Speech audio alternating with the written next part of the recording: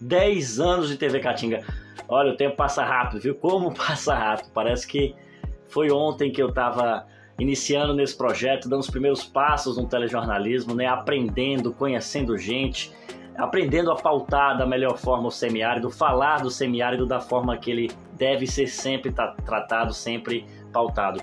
Aprendi muito, conheci muita gente, fiz parte de inúmeras iniciativas dentro do projeto da TV Catinga. Foram dois anos de muito aprendizado, por isso que eu agradeço. Fico muito feliz de ter feito parte dessa história e hoje estou aqui cantando isso, mandando os meus parabéns, porque já se passaram 10 anos e tenho certeza que vem muito mais por aí, esse projeto de intenso sucesso. Então deixo aqui os meus parabéns, TV Catinga. São 10 anos e vai vir muita coisa boa por aí ainda, espero, viu?